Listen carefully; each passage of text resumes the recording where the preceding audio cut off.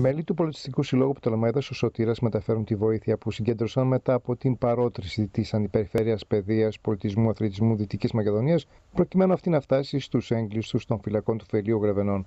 Τα είδη που συγκέντρωσαν είναι τόσο για την προσωπική υγιεινή των αναξιοπαθούν των κρατωμένων, όσο και για τον εμπλουτισμό της βιβλιοθήκης του σοφρονιστικού καταστήματος, όπου ήδη λειτουργεί εδώ και χρόνια το σχολείο της δεύτερης ευκαιρίας, όπως επίσης το τελευταίο διάστημα και το τμήμα εκμάθησης της ελληνικής γλώσσας. Συγκεντρώσαμε υλικά για το σοφρονιστικό κατάστημα Γρεβενών, υλοποιώντας σκοπούς του καταστατικού μας που είναι η αλληλεγγύη και βοηθώντας το έργο των σοφρονιστικών υπαλλήλων για την επανένταξη αυτών των ατόμων στην κοινωνία.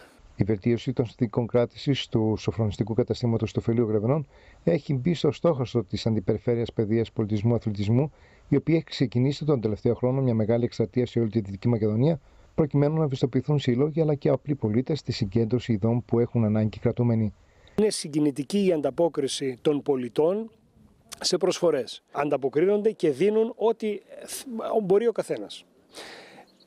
Όποιος έχει σε οποιαδήποτε προσπάθεια, είτε βρίσκεται σε διάρκεια ε, κάποιο, προσπάθεια κάποιου συλλόγου, καλούμε τους πολίτες ό,τι έχει να μας το φέρνει. Εκτός από τα βιβλία και τα είδη προσωπικής υγιεινής, στην τελευταία παράδοση προς τις φυλακές του Φελίου Βρεβενών προσφέρθηκαν από το Σύλλογο Μακρυγιάννης Κοζάνης και παιχνίδια, τα οποία προορίζονται για το παιδότοπο που λειτουργεί σε ανεξάρτητο χώρο, μακριά από τα κελιά όπου οι κρατούμενοι συναντούν τα παιδιά τους χωρίς τα αδιάκριτα βλέμματα των υπολείπων.